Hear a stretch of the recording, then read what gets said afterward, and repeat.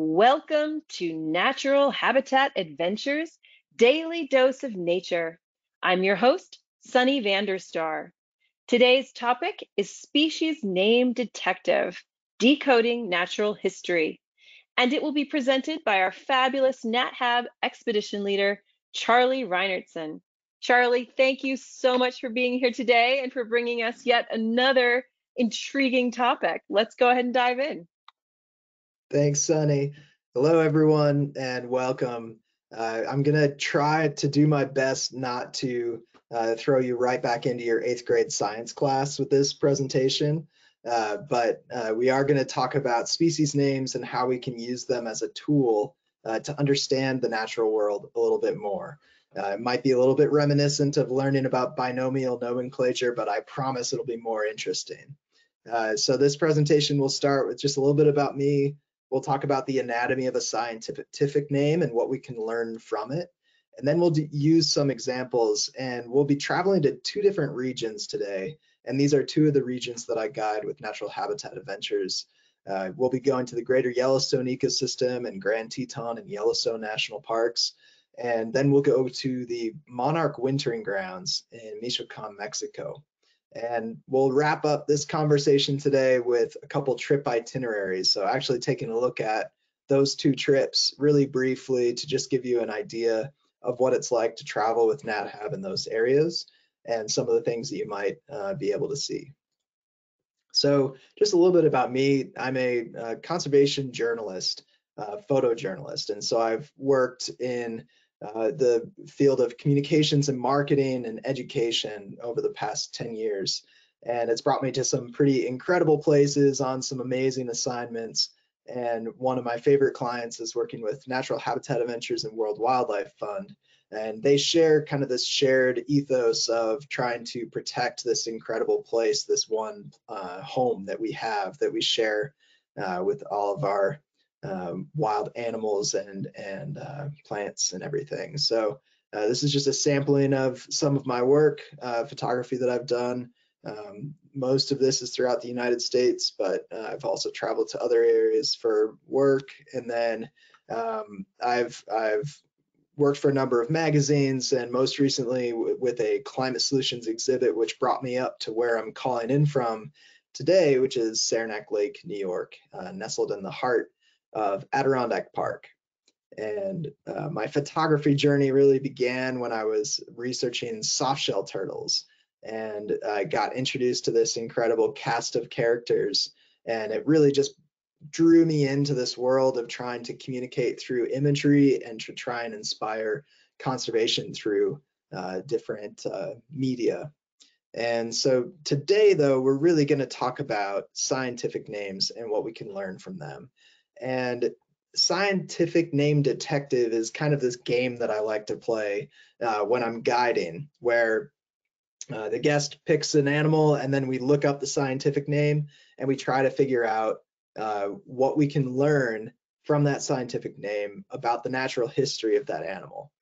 But why do we even have them? Let's take a quick look if I were to say mountain lion, Florida panther, catamount, puma, deer, tiger, or cougar, all of those words are just different common names for one specific species, puma concolor or the mountain lion. So that's one reason why we use a species name is because it's much more specific. It allows everyone who's communicating about that animal to be sure that they're talking about the same thing. The other place that common names, the pit, pitfall of common names is that they can be very pretty confusing. You might have a prairie dog that's not a dog, a flying fox that doesn't fly and isn't a fox, an electric eel that's actually a fish and it's not electric. So uh, there's a lot of potential confusion in common names.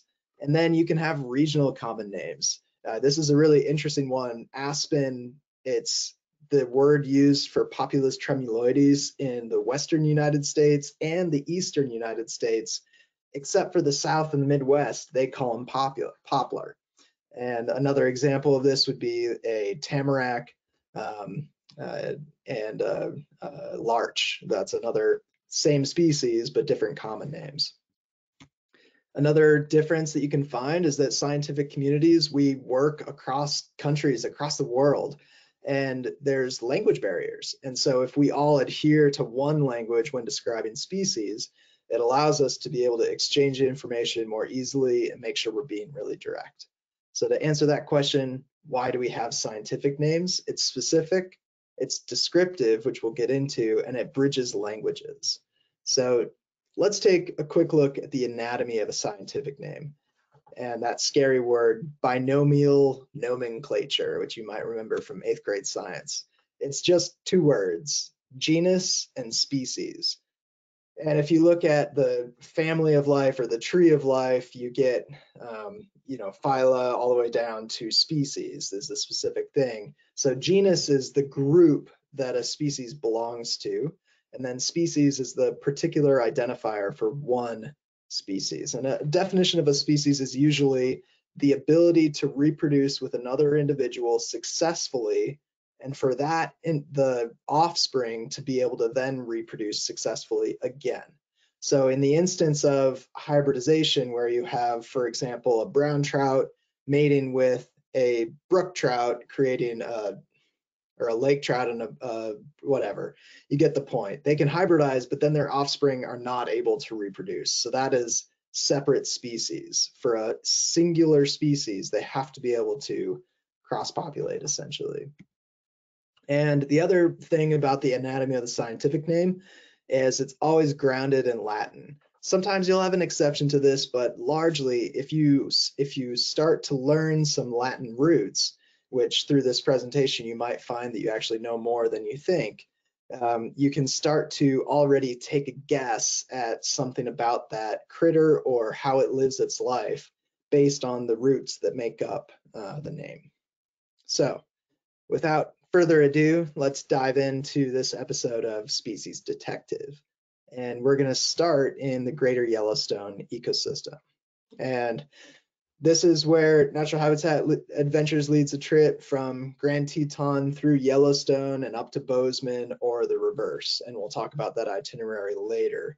Uh, but for now, those two national parks, they're part of a larger ecosystem that is really expansive and bridges states and it's in the western United States. It's very mountainous. And one of the creatures that calls that home is the mule deer. And the species name is Odocoileus hemionus. And I'm not going to pretend to know how to pronounce all of these. Um, I'm sure someone else would pronounce that differently. But if we take a look at those two words, let's dissect the genus, which is the first word first. Odocoileus, odonto and coeles means hollow tooth. And mule deer all have hollow tooths. If you actually look in the center of their tooth, it actually tends to capture some, you get, get plant matter that gets caught in that area. Um, and all mule deer, um, every individual from this genus have hollow teeth. Now getting down to Hemionus, uh, it means half mule and it's reference to the ears because if you look at a mule deer versus a white-tailed deer, you're going to notice the mule deer is bigger, heftier, uh, has a black tip on their tail, and it has really big ears in comparison to its head. So that's one species. It starts to tell you some interesting information that you might not learn otherwise. And one of the tools that I like to use when I'm trying to learn about a species in my backyard, you know, maybe I'll look up cardinal and I'll search, you know, what can I learn about a cardinal? It'll probably take me to Cornell because they've got an incredible database of birds. And they'll tell me some natural history information about that bird. But if I know the scientific name, I can also put in the search bar, search Cardinalis cardinalis, and find out is there anything about that name that tells me something unique? Because I can bet if I just search deer, mule deer, natural history, it probably wouldn't lead me to find out that they have hollow teeth. And maybe that information isn't that interesting to me, but I think it's a nice way to get a new depth to uh, the, the organism that you're studying. So another creature or plant that you're going to find in, in the greater Yellowstone ecosystem is sagebrush. And this is going to be one that is pervasive. It's everywhere. And part of that is because sagebrush is incredibly adapted to uh, a really dry, arid environment. Uh, so a couple of their adaptations are that they have lateral roots and that allows them to soak up any rain melt or rainwater or snow melt that's right on the surface. And then they have what's called a tap root. And that tap root, these plants are about three feet tall, one meter, and their roots can go below ground up to three meters. So that's you know three times as tall as the plant. And that allows them to access the water table so that they can ensure that they still have water throughout the year. And that's an incredibly important adaptation because most of the uh, water that comes in this ecosystem uh, comes as snowfall. And then during the summer, it's a very dry period where they don't have a lot of water. So if they can access the water table, it um, helps them survive. And that's why you see just fields and fields of sagebrush. But what's something that you already know about sagebrush? It smells really good. and this is not your culinary sagebrush, that's a different variety. Uh, but this is a Artemisia tridentata. So let's start to unpack what that species name can teach us. Artemisia is referring to Artemis the goddess or perfection. And this is interesting. Some sources tell us that it's referencing the fragrance that you get from sagebrush, but that's also a little bit questionable because there's no Latin root that would uh, would would suggest that. Uh, so unpacking the next part, tridentata, three teeth, three lobes on the leaves. So that is referring to an identifying uh, characteristic that these leaves have that help you ID them. So Artemisia tridentata. And going back to that fragrance, this starts to open doors to unpacking the natural history of this plant. So that fragrance is actually caused by a terpenoid compound. And that terpenoid is produced by the plant to reduce herbivory or other predators eating the plant. And the reason why it's really important for arid plants to reduce herbivory is because those uh, leaf structures actually carry a lot of water content. And so when you lose part of your leaf to a bug eating you or an animal eating you, you're actually losing water. And that's such a limiting resource that these plants have created adaptations to try and combat that. And this terpenoid compound is one of those ways that they're trying to, they it's a really bitter compound. It'll cause stomach problems for a lot of animals. Uh, and that's the fragrance that you're smelling when you smell sagebrush. And one of the interesting things is that there's this arms race going on where there are certain animals in this landscape who can process that terpenoid compound and handle it just fine. And that animal here is pronghorn. Uh, they spend most of their time in the flats. They're a prey animal, so they're they're trying to watch out for predators, and so they want to stay in that area. And there's pretty little food that they can eat, especially into the fall when plants start dying back. And so they actually feed on sagebrush, uh, similar to the sage grouse, which is another one that feeds almost exclusively on sagebrush, which is pretty surprising. And uh, just another kind of a fun fact about uh, sagebrush is that it um, it's it's it's incredibly pervasive. Um, it has that terpenoid compound, but another way that it helps to reduce water loss is by having on the surface of its leaves, back to this image, it's really fuzzy and we call that pubescence or hairs on the leaf structure. And that does two things. It also aids with keeping bugs from eating it. It, it creates a physical barrier, uh, but it also actually um, helps prevent water loss because it's creating a boundary area between air and the leaf structure that insulates the leaf. And so without going into a full lesson on thermodynamics that we don't need to go into that rabbit hole, just know that those hair structures are actually an adaptation that allow them to hold, help hold on to water. Uh, so that's that's one of my favorite plants to talk about, and it's a it's a neat one as a guide because it's always there. You're never gonna miss it. Uh, so anytime there's a gap in wildlife, we get to talk about sagebrush. So shifting over to another species, in the foreground of the picture on the left, you're seeing sagebrush. And then in the background, you're seeing this bright orange hillside. And that's all aspen trees. And this picture on the right is a picture of their trunks. And aspen are in the Populus genus. You'll find birch trees in that genus. And the species name Populus tremuloides. So now we'll, we'll take a look at the species name and unpack some of the natural history of this species as well. So populus, it means crowded or many individuals. And this starts to get to one of the most amazing adaptations of aspen. And aspen is, is uh, not unique because other plants do this, but in this ecosystem, it's fairly unique in that it can create genetic identicals or clones uh, by shooting up new ramets from the uh, root mass. And so when you're looking at a stand of aspen, without doing genetic analysis, you don't know for sure, but generally, one stand of aspen is a clone of aspen. And so the stand is referred to a genet, and the individual trunk of a tree is referred to a ramet as a ramet. And this is a superorganism. So we call these superorganisms because they're massive. And these genets, these stands of aspen that are genetically identical, can live for centuries. This is one of the oldest uh, known living organisms on the planet.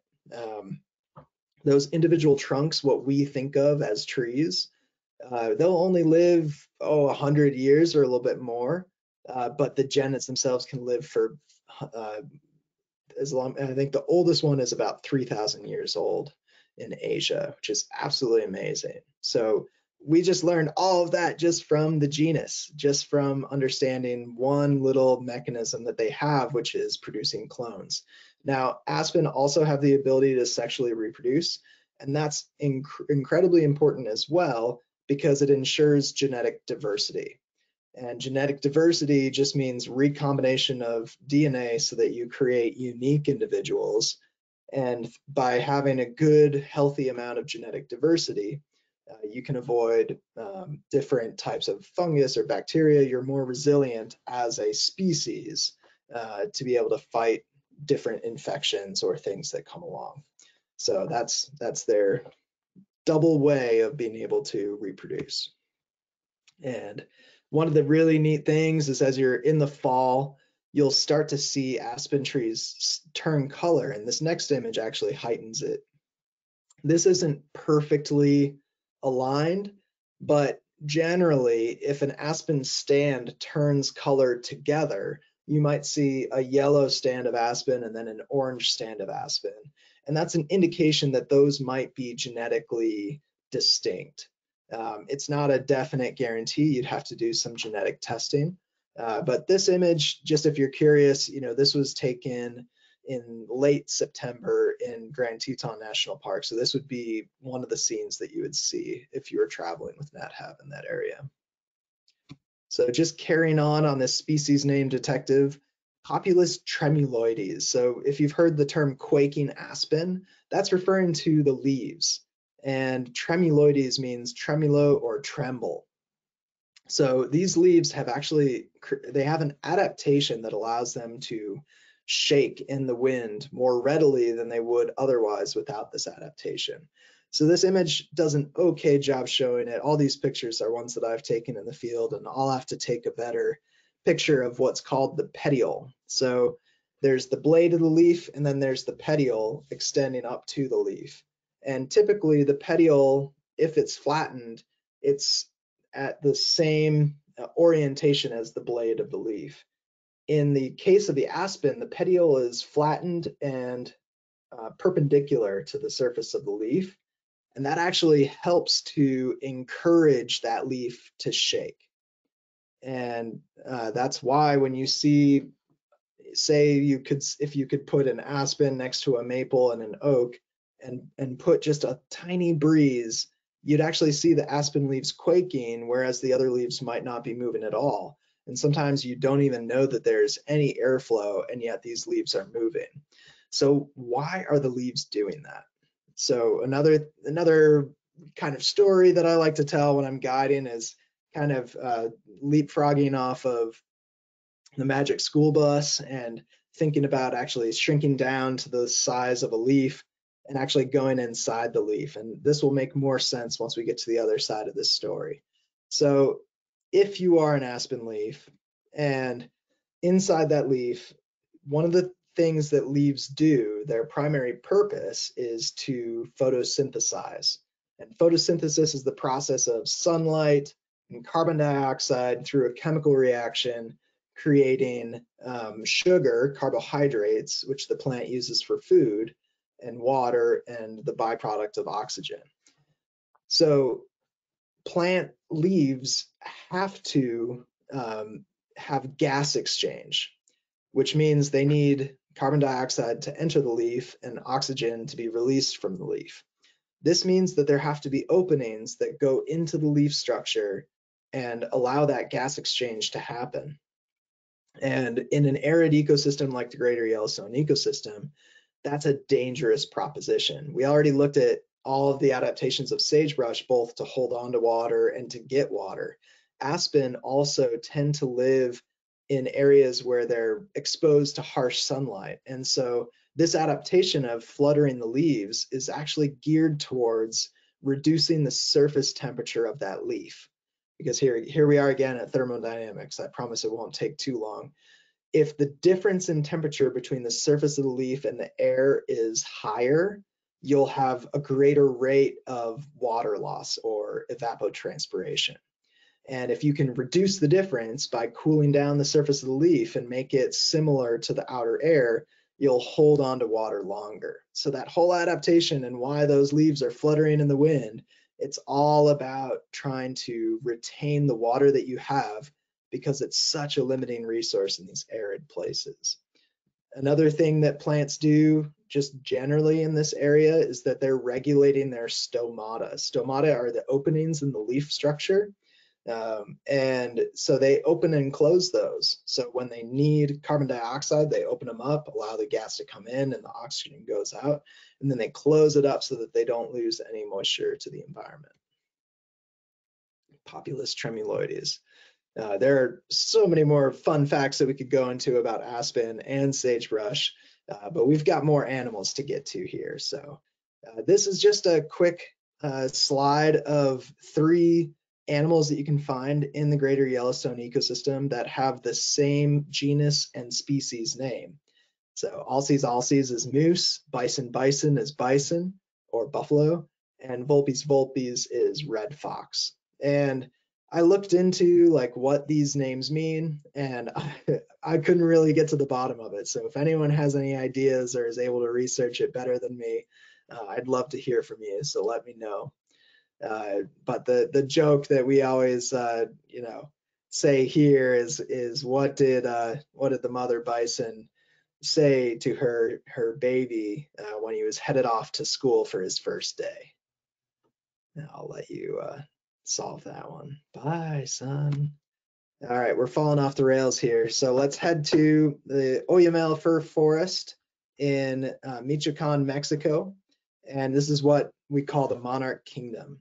And Natural Habitat Adventures leads a trip here because there's this incredible ecological phenomenon where monarch butterflies, all the way from the Rocky Mountains to the eastern seaboard up to the southernmost area of Canada, uh, all of those butterflies congregate and migrate together as far as 2,500 miles. This time of year to be able to make it to one specific location in the transvolcanic mountains of Michoacan, Mexico. And we'll talk about why they do that. And we're actually going to get to that story through, you got it, species names. So the monarch butterfly is Danaus plexippus. And this Danaus plexippus refers to a couple of things. One piece that it refers to is sleepy transformation. It also is referring to uh, foot structure, but we don't want to get into that. We're going to talk for now about this sleepy transformation. And to get to that, we're just going to do a little crash course in monarch butterfly ecology. So we hear a lot about monarch butterflies are endangered, but when you get into the articles and read a little bit more, it's just the migration of monarch butterflies that's actually endangered because monarch butterflies exist just about everywhere in the world. All of these orange spots on this map are places where you can find Danaus plexippus or the monarch butterfly. They evolved in the tropics, that's where they first evolved, and they evolved to depend exclusively on milkweed as a food source as caterpillars in their caterpillar phase. Uh, so interestingly, there are two migratory populations in the world from all of those populations that we just looked at, all the way from Northern Africa down to Australia, um, all of those populations, there are two migrations that we know of. And these migrations occur in North America. One of them is really small. It runs from, it pretty much stays within California, west of the Rocky Mountains. And they migrate down to one particular place on the coast. And uh, the one we'll focus on today is essentially Rocky Mountains to the eastern seaboard. And you're seeing that kind of funnel that I've created on this map. And there are a couple theories about why monarch butterflies are migrating. One of the theories is that uh, the monarchs are following milkweed abundance in the summer because, as I mentioned, when they're caterpillars, they're exclusively feeding on milkweed uh, to be able to get to that next phase in their life cycle. And there are many, many more milkweed species in North America in the United States than there are in northern Mexico. So even though they may have evolved in the tropics, they might have started to migrate seasonally to be able to chase that food availability until the cold would drive them back south. Because remember, they're that tropical species, they evolved in the tropics. They did not adapt to cold weather. They're very intolerant to cold, and especially cold and moisture.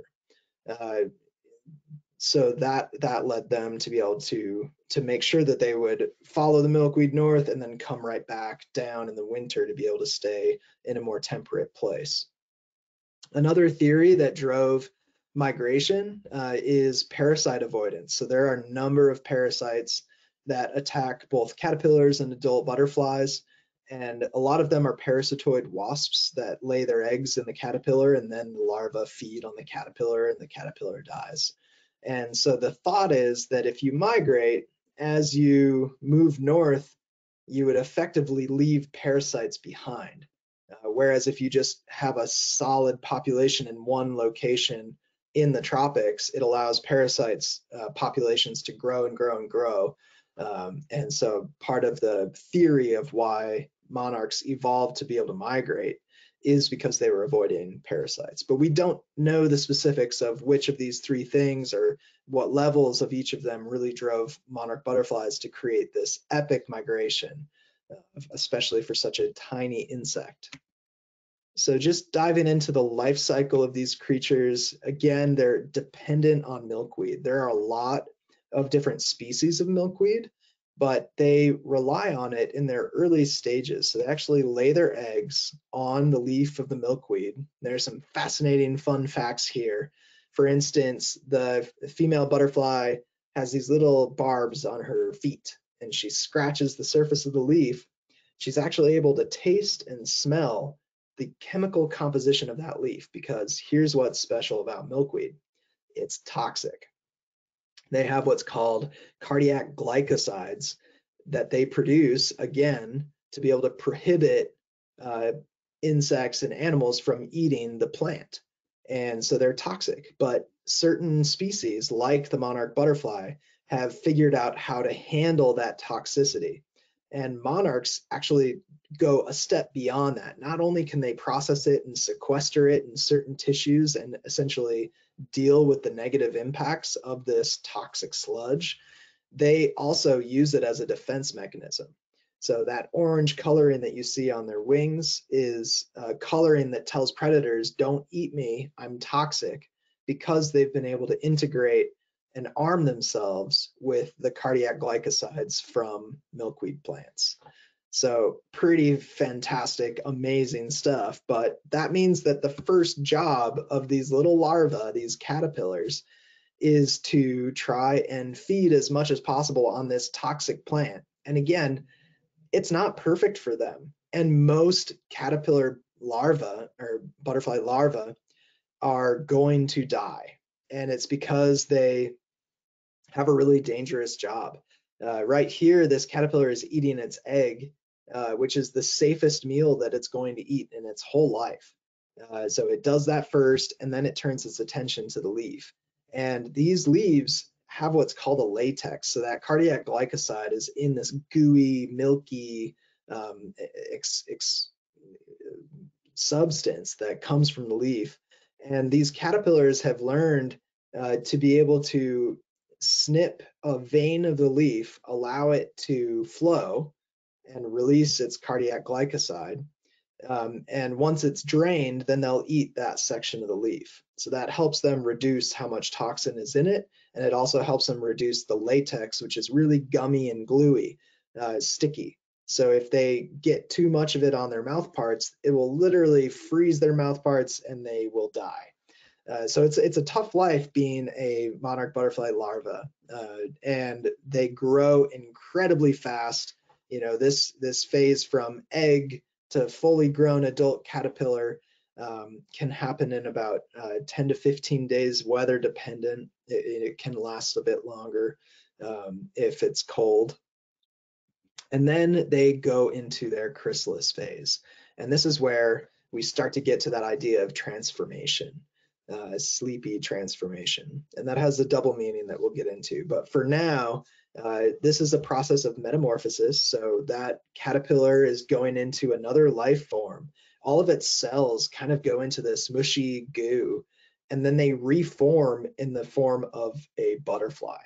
And uh, you know, this whole process from egg to adult lasts almost a month, and then from adult butterfly uh, they live almost a month. So the whole entire thing is a month and a half to two months, depending on how warm it is outside. Uh, they slow the process down when it's colder. Uh, but this whole thing, you can tell now, they're just unbelievably reliant on milkweed as a food source. They need to have it, and that'll come into play a little bit more as we get into the conservation of this species. So this is where we start to talk about the migration. Uh, we're working backwards here a little bit. So in the spring and summer, monarch butterflies are making their way from their overwintering grounds in Mexico north. And so the first generation of butterflies flies in that blue funnel up into the southern United States. And then those individuals lay their eggs. Those eggs go through the whole cycle and the adult butterflies emerge and they form generations two and then they have generation three. So that's that's the green swath in the midwest and southern united states. And then there's another generation. And so by the fourth and fifth generation they've reached as far as southern canada. Um, and then at that point uh, they start uh, shifting their migration to be able to go south. So this is again looking at that spring to summer migration, showing you the two different migratory pathways um, of, of the California population versus the eastern seaboard population. And so what happens then is fascinating. Uh, because the monarch butterflies actually go into what's called reproductive diapause. They shut down their ability to reproduce. So that's that fourth or fifth generation of adult butterflies. And they're doing this uh, to prepare for this incredible migration. And so they increase their fat storage, they increase their lifespan seven months. Uh, remember, they as an adult butterfly, you only live for about one month. And now in this life form, they actually live for seven months and they make their way to that one specific place. And these butterflies are actually detecting a seasonal shift. And part of that is temperature. Uh, once it gets really cold, the plants start to die back. The chemical composition of plants starts to change, and the butterflies can actually detect that. Remember, they can taste the leaf structure, and the caterpillars are feeding on the leaves. They're getting all of this information from their food source. And then the other big one that drives butterflies to have this shift to another body type that's migratory is the light. And so the sun is actually changing its angle over Earth's surface. And due to that, uh, the, the monarch butterflies are picking up on that, the length of the day and the angle of the sun, and they start to migrate. And this is wild. The way that they do this is still being studied. There's so much research to try and understand how this half gram, three inch insect could possibly make it to a place that's, you know, smaller than Manhattan. You know, we, we love to compare things to Manhattan, but it's it's a really small acreage in Mexico. And they navigate by using what's called a circadian clock, which is essentially um, hormones that are released based on the amount of daylight in the day that helps you figure out what time of day it is roughly.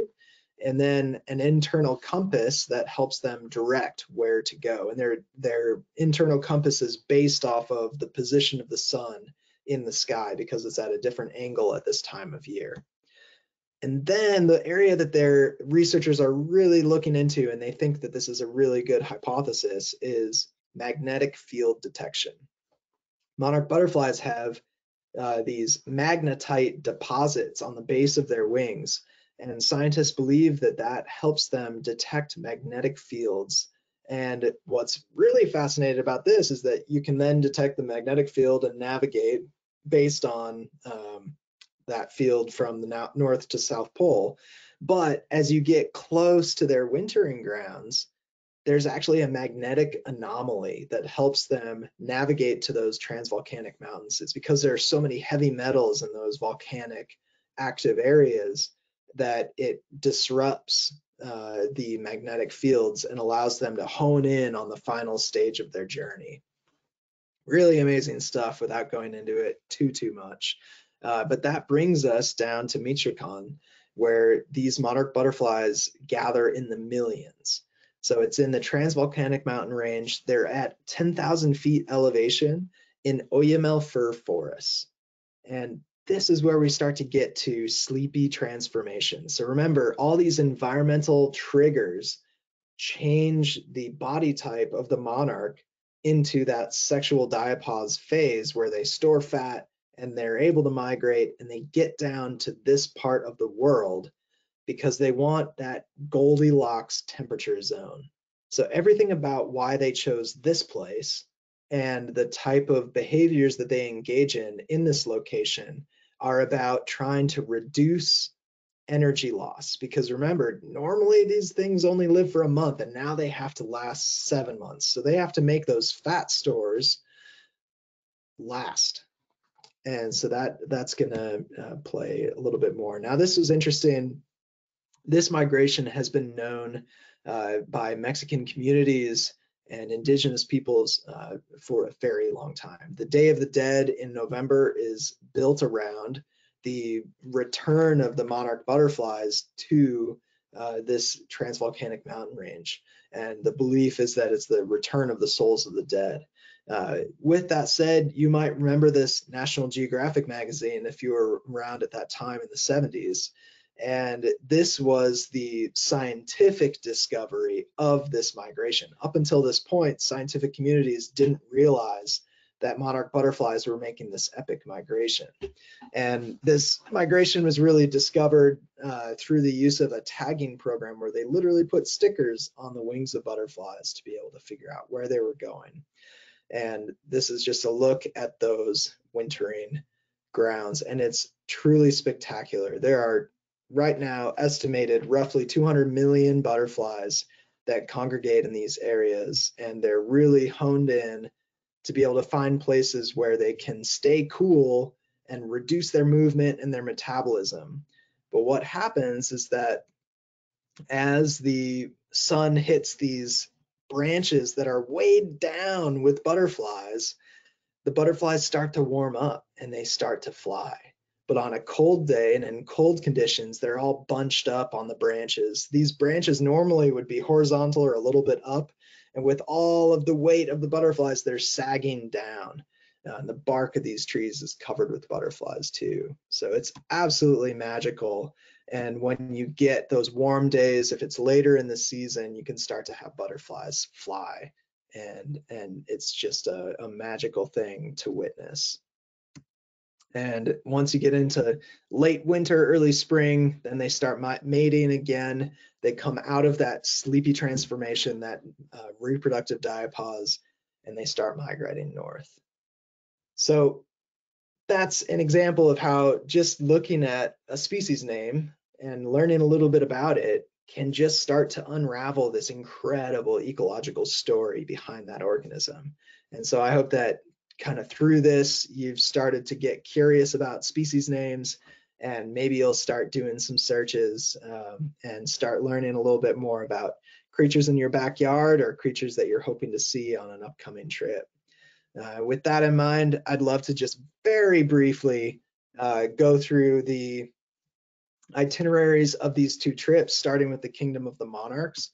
And this is a quick overview. You'd fly into Mexico City, and then make your way out to Angangueo, which is the home base for being able to visit the sanctuaries, and a stop at Valle de Bravo, and then make your way back uh, to Mexico City.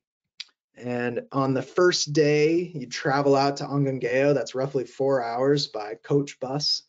Uh, and then you take a covered truck to a horse and then hike to be able to reach the uh, wintering grounds of the monarch butterflies. And this is one of the largest reservations or, or sanctuaries in, in terms of how many butterflies congregate in that area. And then that evening, you would spend it in Angangueo, uh, which has really transformed with the ecotourism in this area. Day two, we'd go to another sanctuary, Sierra Chincua, and take another covered truck to be able to get to a horseback ride, to be able to then hike, to be able to find uh, where the butterflies are at that point.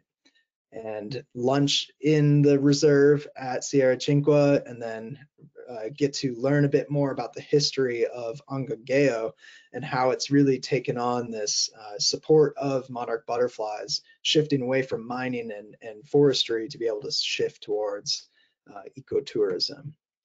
Day three, we go back to El Rosario, and that's a three days in the sanctuaries, which is really incredible for how short this itinerary is in the grand scheme of things. Uh, to be able to give you the best chance to be able to see as many behaviors as possible. Maybe you get a couple cloudy days, maybe you get one sunny day, and then you have an experience like this. And uh, so it's it's just magical. That's it's um, really amazing. And then there are a couple stops on our way, making our way back to Mexico City in Valle de Bravo, get to see some really amazing sights, and Toluca to be able to see some cultural um, installations of stained glass, and then finally making your way back to Mexico City. That was a whirlwind, but I just want to be able to get through this to be able to give you a quick, quick look. Uh, so this is the other trip that I guide uh, in Yellowstone and Grand Teton. This one is a seven day itinerary. You can either take it from Bozeman down to Jackson or ja Jackson up to Bozeman. And it's really a wildlife tour. So if you're looking for an uh, incredible hiking tour, this one is going to get you moving, but it's mostly geared towards being able to find wildlife on the landscape. Uh, and we're also going to celebrate all the incredible geothermal features that come with exploring uh, super volcano.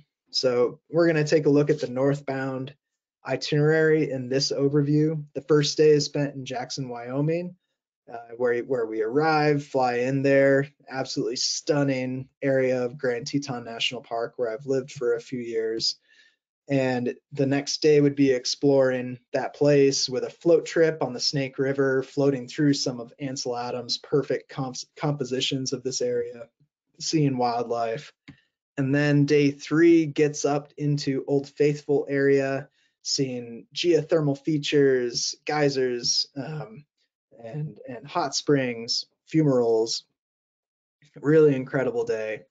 And then we get into some of our heavy wildlife days where you wake up early to be able to match your activity level with wildlife activities. You're trying to match the crepuscular animals like your wolves, your bears, um, all of your predator species are more active in morning and night. And so we also tie in a couple visits to spectacular places like the Grand Canyon of the Yellowstone River. Day five, we head to Lamar Valley.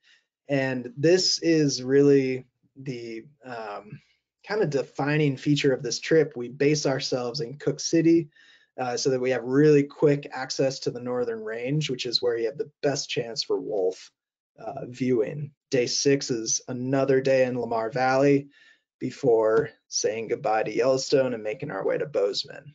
And that's a quick, quick look. And we've got a few minutes here left for questions. So thank you so much for tuning in. Uh, if you'd like to hear more of my stories, feel free to go to twoline.com slash tracks and sign up for the newsletter to be able to get uh, stories from the field delivered to your inbox. And right now I'm working on the Northern Peatlands Project, uh, which is uh, a journey through one of Earth's rarest ecosystems. So uh, if you'd like to join me on that uh, adventure, feel free to sign up. But I'd love to take just a couple questions here as we wrap up. Charlie, thank you so much. That was absolutely fascinating. Um, we'll start with a, a quick one just about who creates these species names? Who created, who creates, how does, what's that process like? Yeah, it's a great, it's a great question. The uh, person who identifies a species um, often is the person who names them. And then that person can choose to try to give these, you know, I really picked out species where the species name is giving indications to the natural history of that animal. Some animals are named for people. Um, and, you know, I think that there's a lot of power associated with that. And, and there's also been some interesting articles lately about, hey, maybe it's time to rename some species, uh, which has, has been an interesting story to follow. So uh, yeah, I feel like a whole book could be written on on uh, who and how species have been named. That would be an interesting book. Um, tell us more about the mule deer teeth. Um, do they have issues with tooth decay, and what's the advantage of having hollow teeth? You know, I spent some time researching this, and there are a lot of guidebooks that will tell you that deer have hollow teeth, and there are very few guidebooks that tell you why. Um, it seems to me like like there's a mechanism there that that helps with the longevity of the tooth. They're they're always grinding things and chewing things, and I think it helps with the mastication of that um, food. But I I didn't find anything definitive on that. That's a that's a really good question. um, aspen if a stand turns, let's say yellow one fall, will they turn yellow every fall or does the color vary? That's that's another good question. I don't know the answer to that. Uh, I don't know if that's an environmental factor driving the color or if that's genetic. Uh, that, that sounds like you might have a study on your hands there. um, we'll pick a couple more questions. Um, does a stand of aspen have accompanying fungal mycelium? Oh, that's a good question. Fungal mycelium. Uh, so, almost to my understanding, all root systems have fungal mycelium, and that just means a fungus that's growing in the root system, and it helps uh, it, it's it's interesting. Like we're learning more about communication between and and with trees. Um, so maybe that's part of of what this question is getting at. Um, but the fungal mycelium is actually helping to create a network that allows for exchange of nutrients between trees and information, chemical communication. Um, to my understanding, aspen have that as well, but I don't know if that area has been studied a lot. Mm. All right, let's do one more. Um, do you know of other species of butterflies that migrate even short distances to prevent parasite infestations?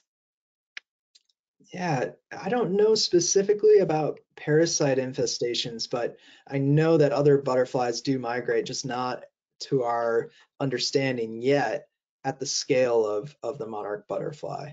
Uh, so yeah, that's that's another good good question. Thank you. Mm-hmm. Well, that's the last question we have time for today, so I'll hand it back to you for closing comments. Well, thank you everyone for tuning in, and uh, and humoring me with the species detective episode. Uh, and uh, I hope that you'll tune back in. I think I've got a, a few more coming up here this uh, winter. So uh, keep an eye on NatHab's website and, and uh, hope you'll join me next time. Absolutely. It's always a pleasure to have you on, Charlie. Thank you so much for bringing your creativity and, you know, interesting topics. I always learn so much. I also want to thank everybody who tuned in. Please join us again tomorrow for our next daily dose of nature. You can check out this week's lineup, including registration links, on our website at nathab.com forward slash webinars. We did record today's presentation and we will have the replay available on our website soon.